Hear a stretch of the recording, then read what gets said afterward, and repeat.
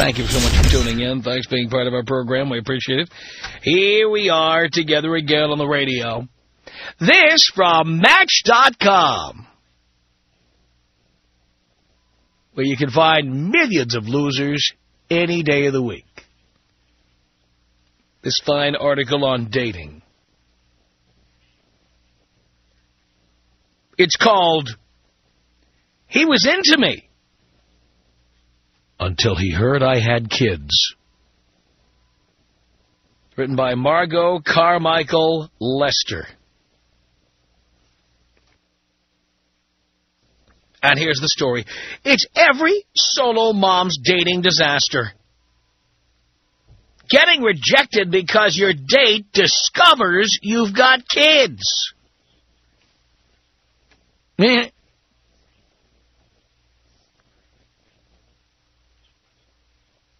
Molly Reams of Richmond, Virginia said, When I first got a divorce and my son was really little,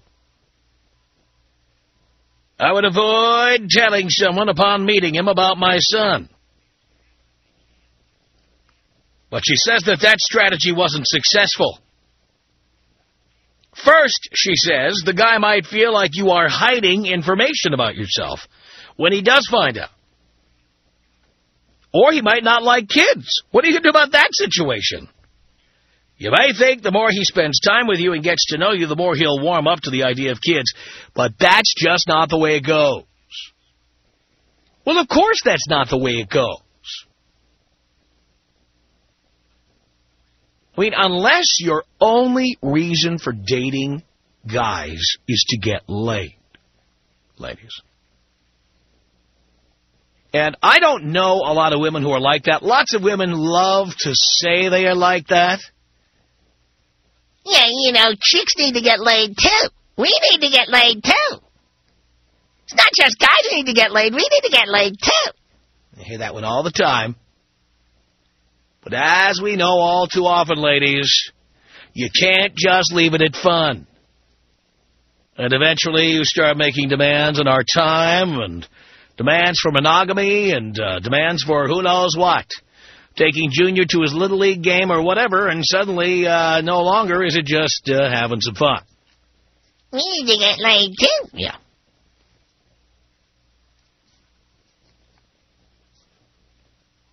The writer goes on to say, instead, you need to say it loud and say it proud when dating. I have kids. Explain Reams. When I meet a man now, I make a point of mentioning my son immediately.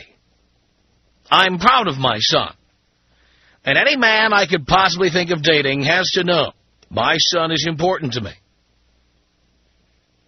Sounds good in theory, but the reality is it hurts if he decides not to date you. That's why it's important to remember that the dude who rejected you doesn't really know you.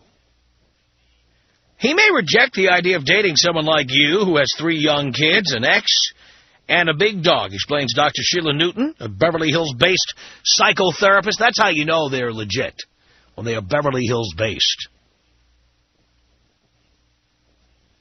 So what, she says. Have you ever thought he probably isn't the one? Reams agrees. Dating is a buyer's market, she says. You should shop for what you really want in a man. The same is true for them. They will shop for what they really want in a woman. So if a man doesn't want to date a woman because she has kids, that's part of his shopping list. You can't take it personally. Oh, says the writer, but you want to. Instead of taking it on the chin, though, reframe rejection more constructively. And she gives some bullet points here. One, you've saved yourself time and potential heartbreak by getting him out of the way before you get more invested in him. Again, see, as much as women love to say, we need to get laid, too.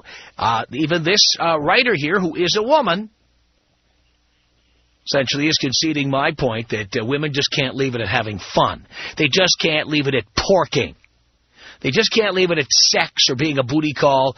There Are there exceptions to the rule? Sure there are. Most women want a relationship. They want a commitment of some kind. They don't just want to get laid. Guys love just getting laid. Are there guys who want to be in a relationship? Yeah, we hear from them too, but uh, The majority of guys, if you said, you know what, I'm cool whether we have a monogamous relationship or not, you can do whatever you want, most guys would do whatever they want. Which would mean they'd have a regular piece of ass that they see because it's reliable and available. And then uh, a little strange once in a while uh, during that time of the month or, uh, you know, when uh, Junior is up late doing homework or whatever. That's how most guys are. Another bullet point here, you now have the motivation to learn more about the qualities you're looking for in a man. And finally, you can stay focused on what is important to you and how to set your priorities straight. The writer goes on to say, to turn the sow's ear of rejection into a fashionable little silk purse, follow Newton's four tips. One, rebuild your ego. Ask your most trusted friends or family members to tell you what they like or love about you. Listen carefully and remind yourself that you're looking for someone who can truly appreciate these special qualities. Just reading what it says here. Two, make a list tell the qualities you want in your partner when you interview potential suitors. Check their qualities against your list. Eventually, many guys will eliminate themselves and rejection won't be an issue. Three, don't get desperate. this one is um, useless. Don't get desperate. You're going to be desperate. You know why? Because guys who have sex with women with kids many times are just looking for sex like single guys are all the time, except women with kids are generally looking for a relationship. They generally are. You know why? Because if a woman wasn't looking for a relationship, she'd never tell you she had kids. She'd never talk about them. She'd drop the kid off with the sitter, or she'd drop the kid off with her parents, or whoever. She'd have sex, and the guy would never be aware of that. It would never come up. It, it would just never come up. The reason it comes up is because when a woman who has kids starts having sex with a man, ultimately she hopes that will become a relationship. That's it. With few exceptions. And those few exceptions always run to the phone. Don't waste your time. We know there are exceptions to the rule. So what? Who cares? She says, think of him as a new a pair of new shoes. They may look exquisite. The price may be within budget. But if you put them on and they don't feel right, put them back. There's certainly no shortage of other fabulous shoes out there. Same with guys. Guys, are you a fabulous shoe? You gotta be kidding me. Three. Sorry, four. Be patient. You don't want to settle for less than you and your children deserve. Finding Mr. Right can take some time. Yeah. So you see what this is all about. This is not about getting laid for women. It's about finding a relationship. And guys, you want to get laid. The reason you go to Match.com, no matter what kind of verbiage you type up into a profile, is you're looking to cruise that website, trying to find vulnerable women who will give you what you want. Relatively anonymously. That's what it's all about. The whole pretense of romance. Come on. You know, unless you're wasting your time on that eHarmony.com where you've got the 27 dimensions of personality, and you get on there and you meet the other people who listen to Christian radio stations like you. Uh, uh these sites are, you know, sometimes they're like Adult Friend Finder, where people just blatantly are looking for sex. And then they're like Match.com, where they pretend to be looking for relationships, but the guys are really looking for sex. And the women are much older and fatter than their pictures, and they frequently are hiding children they think you'll fall in love with them, and they plan to hide the kids. Until, but that's why they write an article like this. A lot of these women plan to hide the kids until they've sucked you into a relationship and then reveal it to you later. They actually think you're in love with them, when in reality, you just would have worn a condom if you knew she had kids. That's that's the thing. You weren't going to wear a condom, and now you know she's got kids, and my God, who knows if she's on the pill. You ever get to that position, by the way, you have sex with somebody, and you just decide to go bareback, what the hell, I'm going in, you know, and you do it.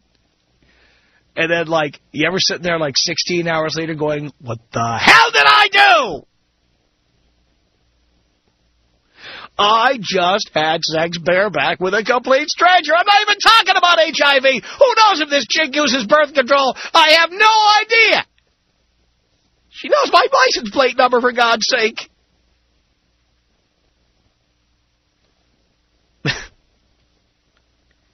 the uh, story I'm reading to you from Match.com, here is how it wraps up. It says, by changing the way she looked at dating, this woman, uh, the last name uh, Reams, has figured out what's really important to her. Why would you want to be with a man who doesn't accept the total you, she asks. Are you going to choose making him happy over your responsibilities as a mother? That would just make most women miserable. So why choose to be in a relationship that is not going to make you happy and feel good about yourself? She concludes, being single is not the end of the world. It gives you the opportunity to find the right relationship instead of being stuck in an unhappy one. Well, what this boils down to is that many women, uh, like the women who go online and post a profile, many women think they'd like to just go out and get laid, you know, uh, uh, they're divorced. Their ex is having a better time than they are. Uh, they're tired of listening to uh, the DVD of Mulan playing 4,000 times in the background, and they would like to have some adult conversation maybe some sex and what have you. And many women think, because they've read so many articles about, we need to get laid, too. Many women think they're going to go out there and just get laid and just fill in a little of the the spare time they have at night with uh, some guy who's going to nail them, and that's going to be it. But then what it, it always gets back to is that many of these women simply fall back on what they've always done. They have sex, and then suddenly they decide they want to pull this guy into a relationship. And so they say, well, Lee, if I tell him I've got a kid, he won't want to be in a relationship. So they'll lie, they'll hide it. Uh, or then they're afraid, well, what if I tell him? Well, it's like, you know, if you're just having sex, you don't ever have to tell him. I mean, you would not be having this debate in your head if all you wanted was sex. This is one of the biggest lies women tell. We, we need to get laid, too. First of all, lots of women don't even like sex all that much. They use sex as a, uh, well, we call it a loss leader. A loss leader is that item at the supermarket. You know the one I'm talking about. I, they, they had this at uh, Ralph's a week ago here in Los Angeles. Ten two-liter bottles of Diet Pepsi for ten bucks. Now, you know that's, that's less than the cost of producing 10 two-liter bottles of Diet Pepsi. 10 two-liter bottles of Diet Pepsi for 10 bucks. Of course, the reason they do that to you is because it's called a loss leader. They will lose money on that deal to get you in the door to sell you other stuff at higher prices. It's that simple. You know, it's not even a trick. It's the oldest way of doing business for a supermarket, and it's the way women do business you know, whether, whether it be oral sex or just having sex or whatever. Many women use sex as the loss leader, like the 10 two-liter bottles Diet Pepsi for 10 bucks. Okay, sex. All the sex you can eat. All the sex you want. All the sex you can stand. Sex anywhere, anytime, whatever you want. You come in now. It's a big blue light special, man. Blue light special. All the sex you can have. All the sex you want. Whatever you want. Any which way. Any position. For the next 10 minutes only. Come on in. It's like that. They use it as a loss leader. And once they've got you in there, yes, yes, they sell you a T-bone for $47 a pound. That's what they do. Then the sale ends on the 10 2-liter bottles of Diet Pepsi for 10 bucks. Then they go back to their usual price of $1.99 apiece. And that's how women are with relationships, okay? Women use sex as a come-on to get you in the door. Then they tell you they don't really like sex, or they don't really like oral sex, or they don't really like having sex when the kid is home, or, oh, I forgot to tell you, I've got a kid. I uh, hope you don't mind the fact that I have a kid. And by the way, now that date we were going to have Saturday night, well, we're going to go to Disneyland and have a date instead. We're all going to go to, like, uh, we're going to we're gonna go to uh, Thunder Mountain together. That's where we're going to go. It's going to be our big date. $52, we'll go to Disneyland. That's our date. And then uh, dinner afterward at Chuck E. Cheese. That's the deal.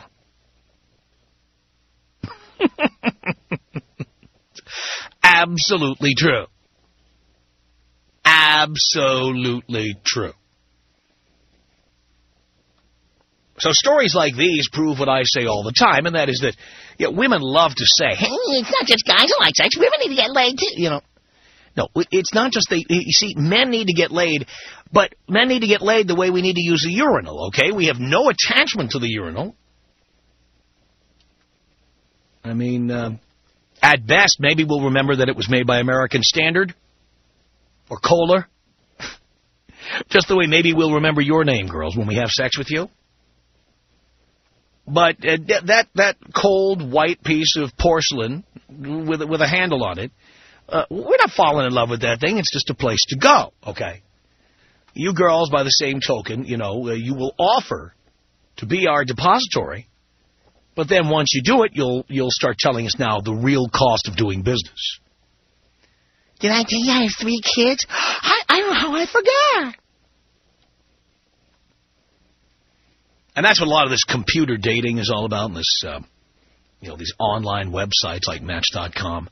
You know, it's a bunch of bunch of fat to fatties, oldies, and fuglies who get on there with their high school graduation pictures or whatever, and uh, they tell you things like, uh, you know, they'll ask questions like, do you, it'll be the questionnaire that they answer, but their answer says, do you want or have kids? And they'll here, the, here will be the answer. I'll tell you later. Ever see that? I'll tell you later. After we meet, after we bond, after we have some wild sex, then I'll tell you if I have kids or if I want more kids. But not until. And that's what this is all about. Can you hide the fact that you're fat? Can you hide the fact that you're over 40? Can you hide the fact that you have children out there somewhere? Can you hide all of that? So you will use sex as the come on. And then later on, through the anonymity of the computer, you can hide all of this, and then later on you can say, oh, by the way, I'm actually 42. I'm actually a grandmother.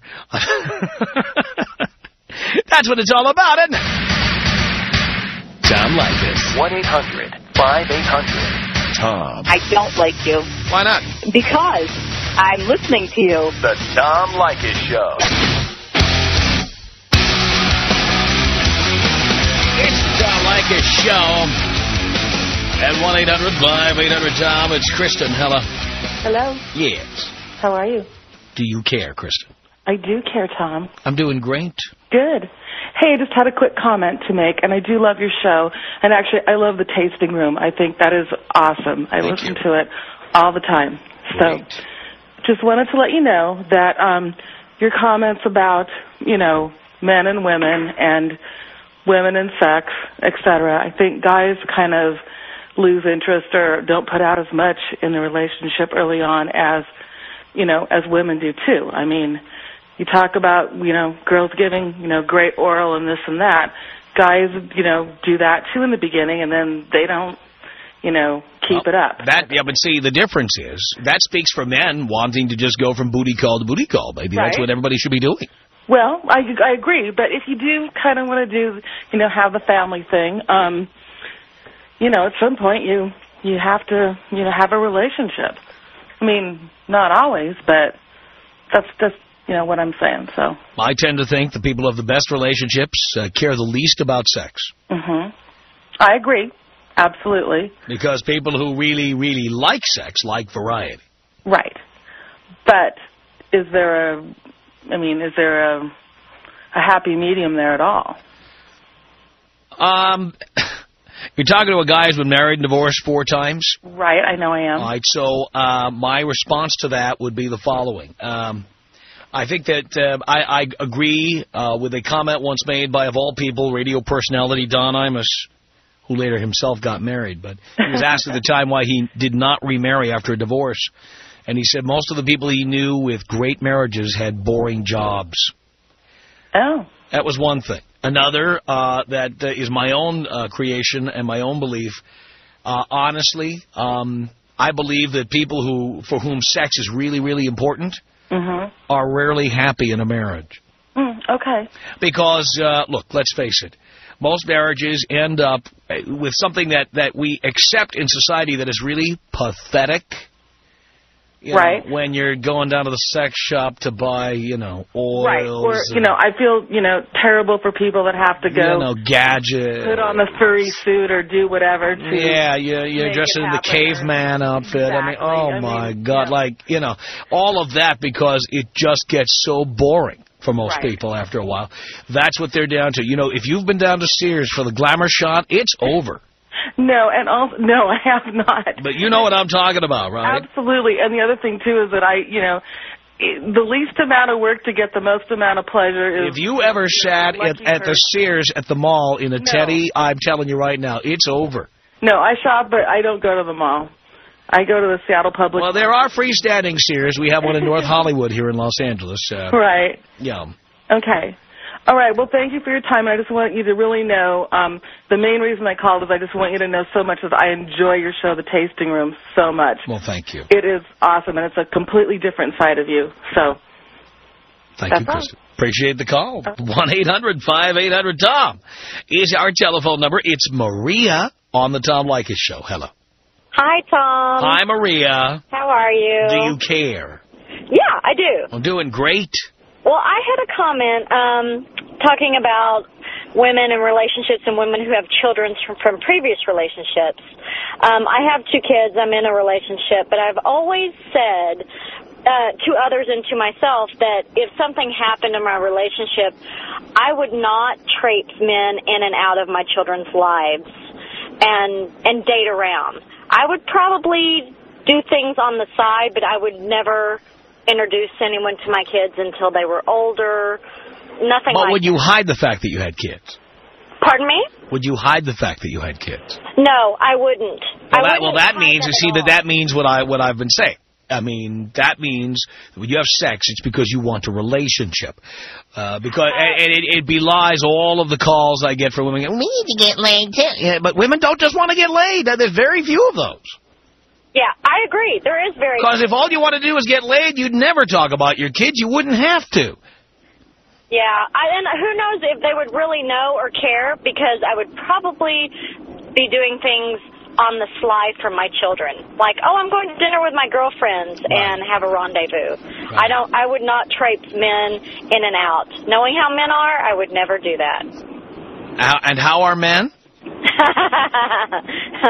listen to you all the time. Oh, you mean that men and men want sex? That's right. And why why traipse in, why introduce them to my kids who are precious to me when, you know, they don't really care about my children like I do. Why do you even tell these guys you got kids? Um Oh, I don't know. I don't know if I would or not. Now that's that and I'm not in that situation. I'm just saying I've always kind of thought I would do things on the fly and just not deal with the dating aspect until my children were out of the house. Really? How old are they now? Oh, they're very young, very young. Very young. Very young, 3 and an infant. Okay. But I've always just thought that Uh, an infant, and you're dating already. No, no, no, I'm not. no, I'm not at all. I'm saying if that were my situation. If it were. If it were my situation. Well, what is your situation? Yes, it's not. No, no, but what is your situation? Currently, I'm in a relationship You're in a relationship with their father, yes. with their father, but you know, oh, this oh call from Seattle, right? Not married. Right, right. Uh, and you did that why? no, I'm not going to go into that. I just wanted to make the comment. Come on! Ah, no, I just wanted to make the comment that I just wouldn't traipse people in and out of my house. I would never do that. Right. So that there is just one, at least one person, one woman listening to your show uh, that probably would save dating for when my Yeah, but she's the one who's on a continuous date with the guy she won't marry. I just wanted to make my comment. And I just I made mine. Thank you for that. Tom Leykis. 1-800-5800-TOM. 1-800-5800-866. If your boyfriend makes $28,000 a year, you are idiots. The Tom Leykis Show.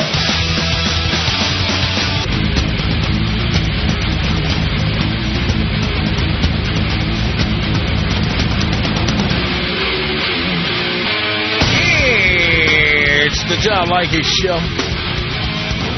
1-800-5800-TOM is our telephone number. Sean, hello. How you doing, Pops? All right, son.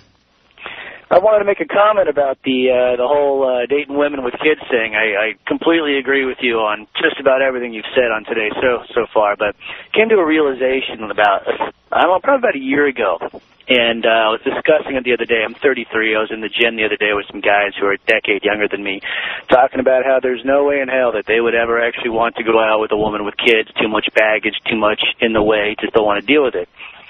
And I perked up something I learned in the last year, which was if you go out with a woman with kids, they got a lot of external responsibilities. So it's not like if you go out and you have the one nighter, or even if you keep them around for a little while, Not the kind of woman that's going to be showing up at your door, calling you at odd hours. They got a lot of other responsibilities in their life, and they just got to sit back and hopefully take what they're gonna, what time you're gonna give them. Well, you understand uh, that unless you know them really, really well, and even then, not necessarily, um, uh, the, the, one mistake, uh, knock them up, and you'll be paying because you know they're going to have that kid. No, that's that's true, and uh, I've I've been down this road several times before, and each time I've realized that this girl's not calling me, this girl's not showing up at my door unexpected.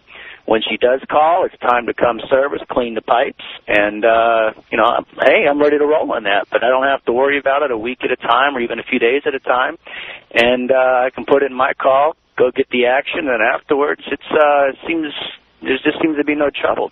You ever find yourself wondering a day or two later if uh, she's knocked no, up? No, no, no. Ever find yourself calling chicks, you know, a couple of weeks later, you haven't heard from them? Wondering if they went out and did the EPT and never called you? No, that's see, that's that's what the uh, the ten years, fifteen years of wisdom has taught me in my thirties now. So I always got the so ring. You can tell. Always you can tell the ones who want to get knocked up and the ones who don't. Yeah, that's true. The ones that already got them, they think they already got enough problems on their hands. So uh, a lot of them as well have already gotten their own birth control going. And uh, but you know, just to make certain, I've always got my own raincoats. On, you know, have raincoats will travel. Well, I'm glad so, to hear that, Sean. Janae on the Tom Leykis show. Hello. Hi, Tom. Hi, Janae. How are you? Do you care? I do care. You know why I care? Why? Because I'm a new listener, and I love your show. Thank you. I think you are so brutally honest about every topic that I've heard on your show, including this one. And I'm telling you, if women would just tune in and listen to you, they would not have the problems that they have right They get so upset at me. I know they do, but you know what? I was raised. Well, let's go back to your topic. First of all, my mom, she had. We have eight kids. She had eight kids, and she was a single parent. She raised us by herself. I'm number seven out of eight, so I have five older brothers, and they told me the game early about guys. So I like it when guys are brutally honest because it saves me a lot of time. Mm-hmm. I have been married three times. I have two beautiful children myself. And when it comes to the dating game, let me tell you, I have it. I don't want to say that I know men to a science, but hey, I just take it like, look, tell me what's going on. I know what to expect, and that's it. Mm-hmm. That's just how you have to deal with men. You don't go in trying, like you said, women want to get laid too. That is a lie. Women get attached. That's right. We can't do it. So I don't know why they fool themselves to think that they can, but they can't. That's right. Those who have children, if you're looking for a relationship, you know what?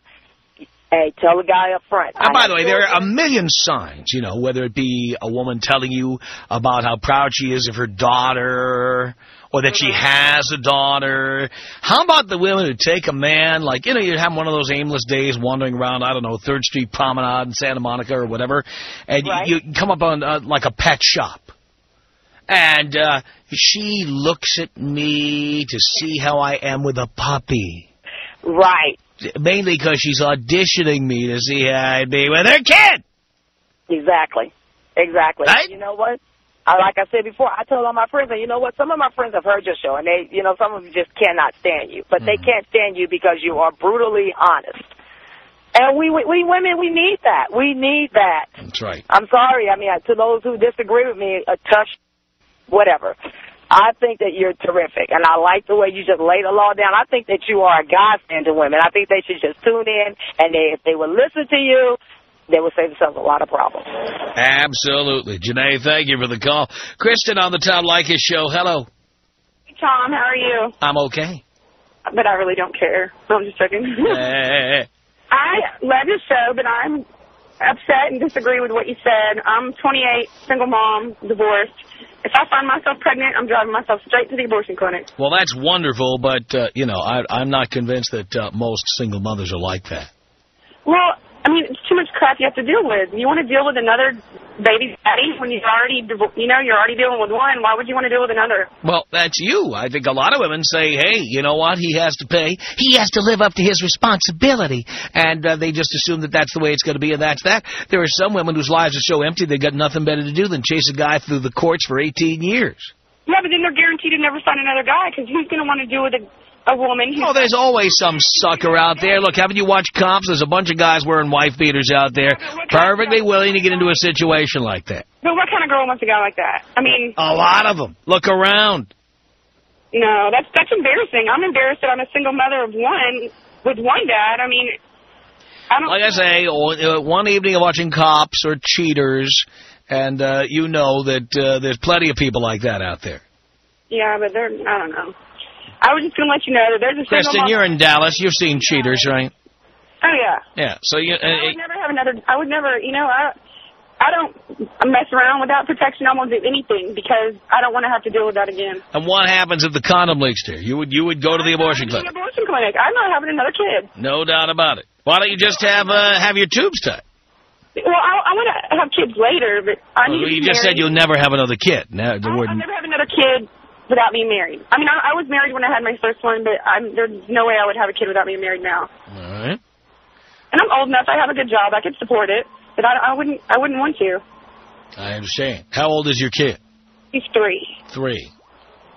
So you had a kid, and that pretty much ended the marriage. Is that what happened? I had a kid, and she was eight months old, and he went and cheated. Uh huh. So, Were you not putting out? oh, I have a boyfriend, but he's. No, no. I mean, were you not putting out when you were married? Oh no, he wasn't. He wasn't because he had a girlfriend. Well, he was- it was a little stripper girl. Like it wasn't like a continuous thing. It was kind of a couple one couple here and there. Like I don't know. I don't really know the whole story, but I'm out. Mm-hmm. So Just checking. better off without him. All right, Kristen. Well, thank you for that. Tom Leykis. 1-800-5800-TOM. Tom Leykis. 1-800-5800-866. There's not a day goes by where my wife and I don't come home and say, hey, well, did you hear what Tom was talking about? And we get into a nice argument or discussion about it. Cool. It's the Tom Leykis Show.